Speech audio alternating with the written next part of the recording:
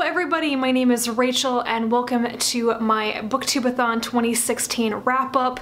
This is my second time doing Booktubeathon and once again I have completed all seven of the reading challenges, so this is what I read.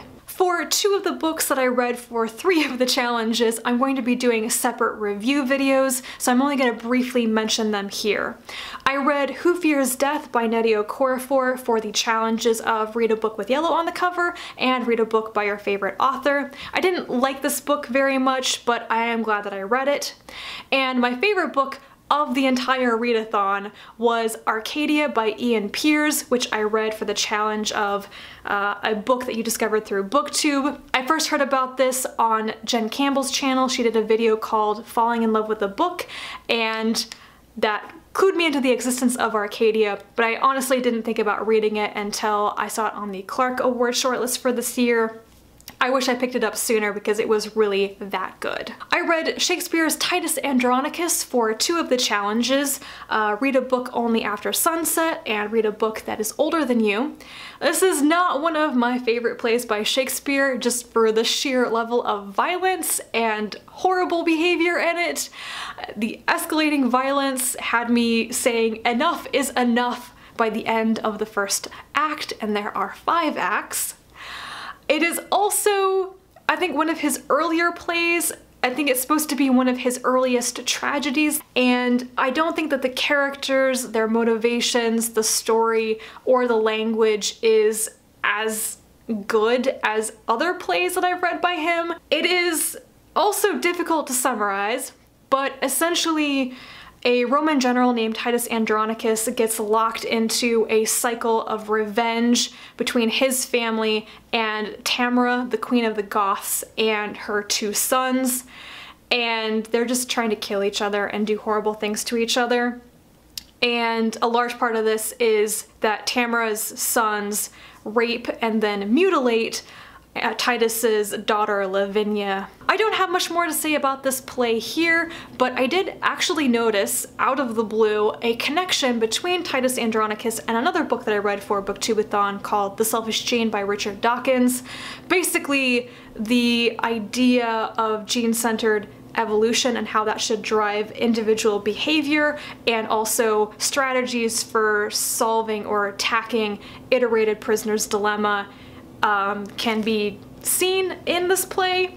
I'm not going to go into that here, but I wrote an entire blog post about it, so if you want to know my thoughts on that rather unlikely connection between those two things, I will put the link down below. For read a book and watch its movie adaptation, I read Harry Potter and the Goblet of Fire, and I enjoyed this. I really, I blazed through it very quickly. Uh, but as I mentioned in my previous part one of this wrap up, Prisoner of Azkaban is still so far my favorite uh, Harry Potter book in my reread. A thing that I really noticed when I read the book and then watched the movie is that a lot of my enjoyment, a lot of the interesting stuff, and what makes a lot of the revelations in the book so surprising are these subplots and extra characters in here that were actually cut out of the movie and that was really disappointing. I think the movie was better than the first two movies, definitely, because the first two movies weren't that great. but by removing so much of the subplots and those other characters, a lot of the depth of the story was completely lost for me. So while it's a quite a long book, um, I didn't feel like it was bloated, whereas I know that I think it's Order of the Phoenix that's like really long and I think it didn't need to be that long. I have definite opinions on the three main characters now. Harry is a really ordinary kid. He's a totally average wizard, basically but he is a jock. He's really good at Quidditch. That's his main strength and it is a sport. And I, I feel really bad for him now that he is quite ordinary and everyone treats him like he has exceptional powers and he doesn't. He's just quite good. He's adapted to dealing with all the crap being thrown at him. And I get really irritated at how little emotional support he gets from adults. Like, when Mrs. Weasley finally hugs him and he has that moment of a feeling of maternal love, I was really, really sad because it should not have taken four books and four years for that to happen. He needed it a lot before. I also don't care for Ron that much. I think he's a total wet blanket and Hermione is awesome. The final challenge was to read seven books and I had to read three extra things to meet this.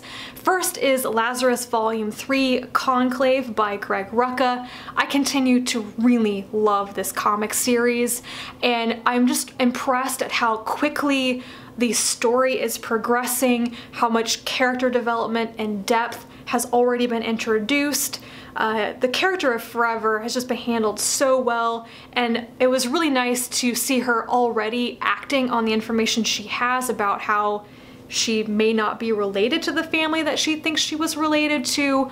She's going out and making some of her own decisions and potentially disobeying orders now and I really can't wait for volume four. Then I read The Arrival by Shaun Tan. This is a children's graphic novel that's told entirely in pictures with no words.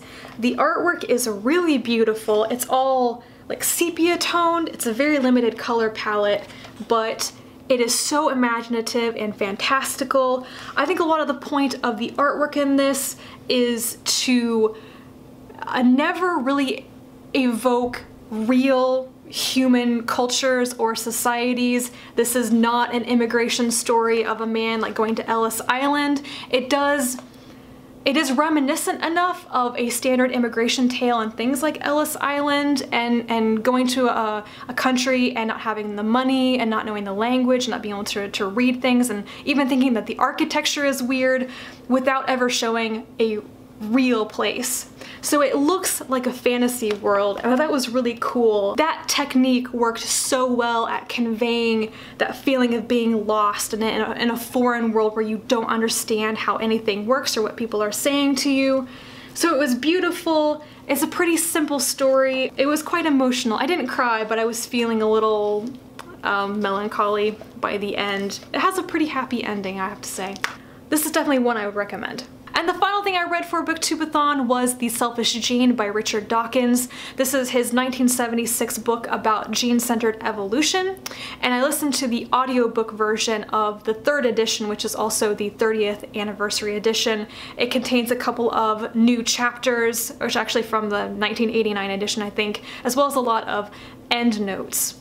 In this book, Dawkins presents a pretty revolutionary extension of the theory of evolution, um, looking at it from a very different way. He posits that it is gene-centered evolution, that our genes are what drives evolution rather than at the level of the organism or the group, which is a pretty standard like Darwinian way of looking at evolution. He's saying that that's wrong and it's actually about our genes and our bodies and everything have essentially just developed to carry the genes and help them survive longer. I'm gonna get the negatives out of the way first.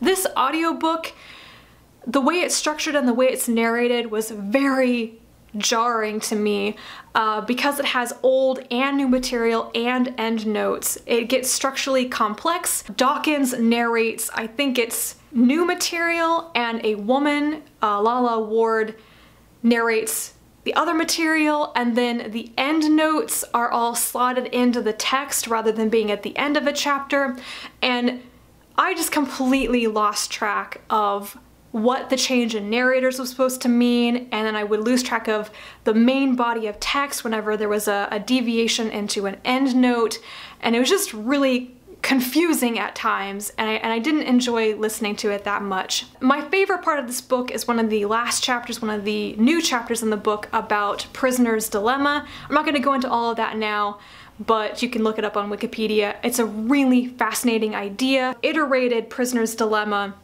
and the strategies for uh, dealing with that underlies a lot of understanding about cooperative and uncooperative behavior. And once you know what it is you see it everywhere. It appears a lot at the macro and micro um, view of, of war and conflict um, and, and relationships. It's what drives evolution in some way It's really interesting and I would probably recommend reading this book just for that chapter or finding a book that's just about Prisoner's Dilemma because it's a totally fascinating idea. So that was my booktubeathon. Overall, I think it was quite successful. I wish I'd had more reading time. I wish that I had read an individual book for each challenge, but given how my week went and how busy I was with uh, social stuff and being out of town and, things like that, I think I did pretty well. I'm glad I just read seven things as it got pretty tough there to reach the deadline, but